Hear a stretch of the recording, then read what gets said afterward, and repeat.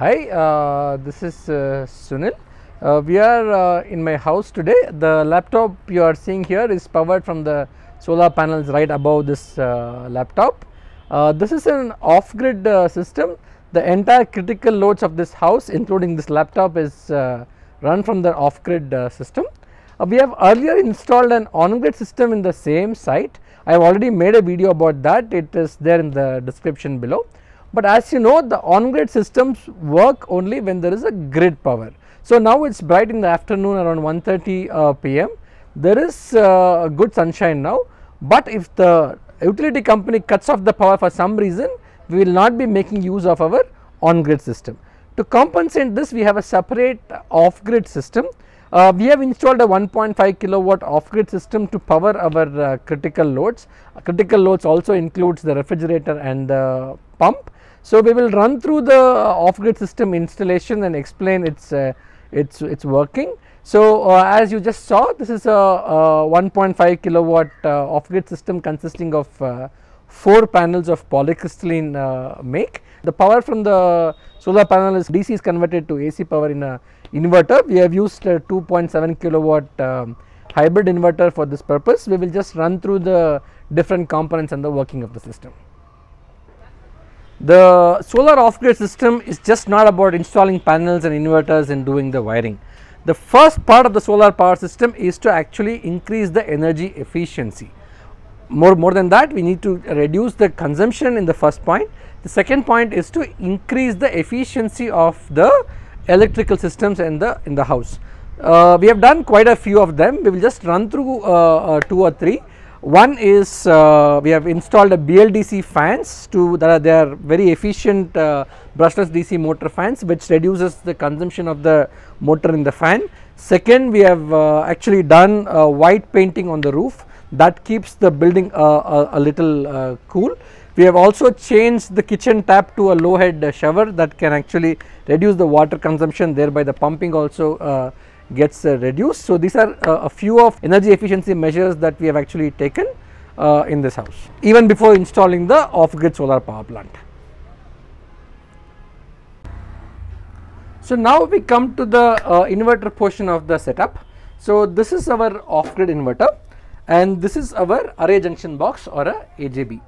This inverter can take a maximum of 50 volts DC so, since we have got uh, 4 panels each of about uh, 38 volts of open circuit voltage, we have made it into 4 strings. So, all the 4 panels are connected in parallel. Since there are 4 strings, there are 4 fuses on the positive side, 4 fuses on the negative side. From here, the uh, power goes into a surge protection device or a SPD. From there, gets into a DC MCB. So, output from this box comes through this wire and gets connected to this inverter. This is a 24 volt system. So, we have got uh, two batteries of 150 Ah. This two batteries are connected in series to make a 24 volts. The battery is connected to this inverter through this fuse. The output of this inverter, this is the DC, the DC gets into the inverter. The output that is the AC output gets into this box. Here the, we have got MCB, we have got a surge protection device and another MCB we have got a meter as well. This measures various parameters of the output. So the current voltage is about 217 uh, and 0.46 is the load and so on. The another feature of this inverter is if required one can also connect this to the grid. So this is the portion uh, for the grid side input. Currently it is switched off. If required this can be switched on and the batteries can be also charged through the grid power. I will just show that uh, in a while. But before that uh, we will look at some features of this inverter. So this is about uh, 2.7 kilowatt inverter. We have however connected only 1.3 kilowatt of uh, panels. This can maximum support about 2.7 kilowatt of load. Uh, this comes with some uh, pretty cool features. so one can monitor a lot of parameters through a mobile app. I will quickly run through that. So, so this is our mobile app. So now you can see uh, various uh, parameters here. Mains is not available. Battery is approximately 100 percentage. You are running 8 percentage load. So this has got uh, many features. This is the uh, main dashboard. uh, we can check our solar uh, production here. So now roughly it's about uh, 2 o'clock the sun is about here this shows the uh, the generation so far and yesterday's generation. It also has got some uh, predictive features like you know we can plan for the next few days. It gives a approximate forecast. And we can go to the smart settings where we can do a lot of user defined uh, settings. We can uh, even though I just showed you that the mains are off we can also control that mains through our uh, mobile app here. We can control the charging. If there is uh, charging required we can turn on the turbo mode we can put the appliance mode. Suppose if you are running uh, heavy equipment we can uh, put the appliance mode. Uh, there is reserve power and we can also put the holiday range. Suppose no one is at home we can also put into holiday range. Now we can set some alarm settings like you know at what at what juncture that there should be uh, alarm. And uh, this is a very cool feature. This shows the usage. So you can see this graph. Uh, this is showing the usage. That's almost real time usage so uh, as you saw our load is actually pretty low. So you, can come here the load which is about uh, it is showing now about 80 80 watts of uh, load. I'll just show you in this uh, graph. Suppose now I will just switch on the pump and see how this graph actually uh, changes. So now we go 3 2 1 yes we made that and now uh, the graph should change. See now the gra- graph has shot up now the pump is on so the the, load profile just increased. Now we are ab- ab- about 30 percent on the load. Now I will uh, put up a drilling machine with that. So this is got the drilling machine. So now I'll just switch it on switch on the drilling machine.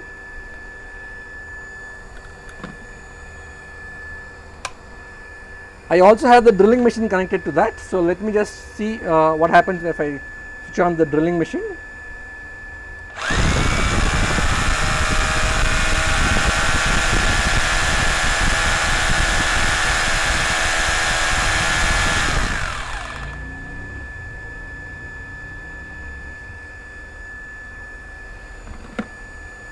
now I switch off the pump and the, the load should drop. Yeah see now so these are some of the features available with the with the inverter. You can also go to switch setting where you know a lot of parameter can be actually selected here. Like you know we can uh, set it to a UPS mode or a normal mode. We can actually set the daytime usage like you know how much of solar should be taken how much of the grid should be taken. In our case the grid is not connected. But if you want we can connect the grid and also uh, show you know how much the, the inverter should draw from the grid and how much from the solar and at what time it should run from solar and what time it should run from the grid. A lot of user defined settings can be done. So uh, it is a pretty versatile uh, system. And um, we can come here. As I uh, as I told you we have got uh, two parts. This is the grid side. This is the uh, output side I will just for the academic interest switch on the grid side and just show it you what it is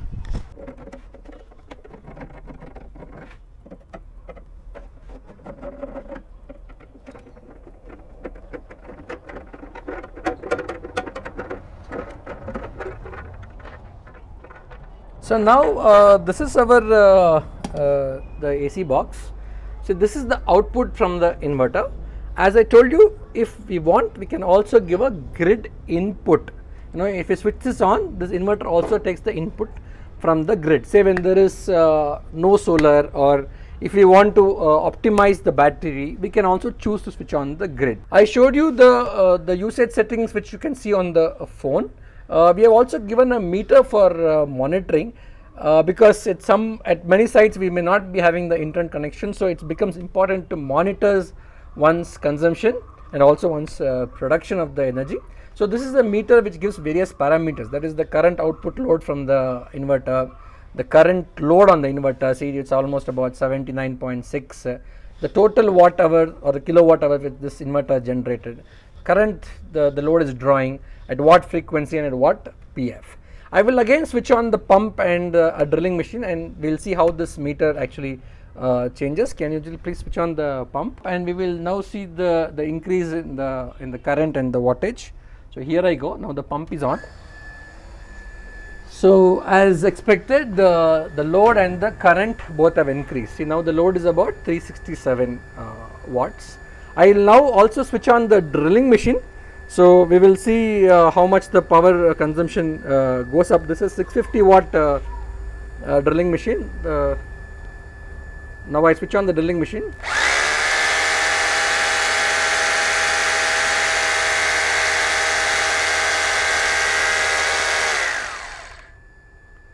So, as I uh, told you this inverter can also take the grid input you know for example if there is no solar power this can also charge the battery through the grid input.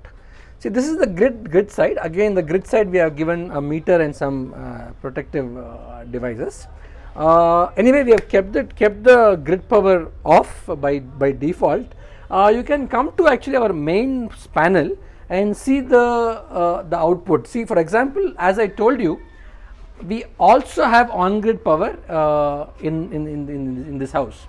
See now this actually there is no grid power. See the grid power is not there. The utility guys have actually cut off the grid power. But the beauty of solar is that the off grid power is still running at uh, 216 volts.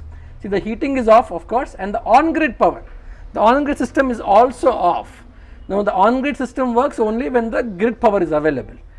Now as we speak the grid power is not available but all the loads are being serviced by our off grid system. In fact that is the beauty of solar. The versatility of solar actually lies in actually powering places where there is uh, no grid power. So in this house now whether we have got grid or we do not have grid it just really does not matter because at any given point of time we can be running all our critical loads on our solar power. As you saw we run our pump, drilling machine, refrigerator, all the lights, fans, TV, all the other critical loads like our server and the internet everything runs on the off grid power. So when the grid actually returns when we actually have the grid power back from the utility company I will show you the input from the grid side to the inverter. Till that time we will take a short break.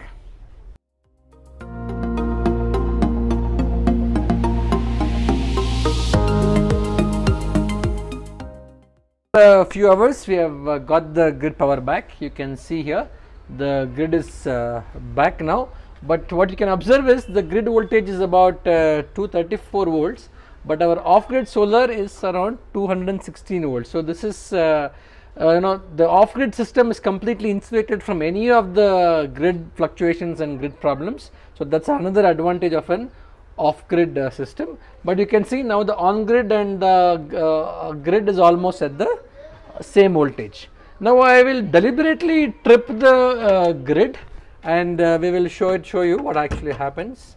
Now uh, I will switch off the grid power. Now the grid power is off. So now because the grid is off we have our on grid also off and of course the grid is not there. So we still still running on the off grid solution at about 217 volts. Let me just uh, switch on the grid back and I will take you to the inverter and I will switch on the grid supply into the inverter and I will show you uh, what happens there. So we are uh, so we are back here at our uh, uh inverter. So as I told you the grid power is by default kept off. We can actually switch it on uh, really nothing really happens if you switch it on. So we are just switching it on. Again a meter is there to measure some of the grid input parameters like uh, so now the grid is on but there is enough and more solar power available. So you can see the input taken from the grid is 0, the voltage is uh, 0, the current drawn is 0. Though the input voltage from the grid is about 237 volts, you can see the output is 218 volts. The inverter conditions the power so that the output voltage is maintained. Anyway, now these two are actually isolated because there is nothing being drawn from the grid actually. So, as I told you by default we want to keep it off. Thank you. This is all about the off grid power.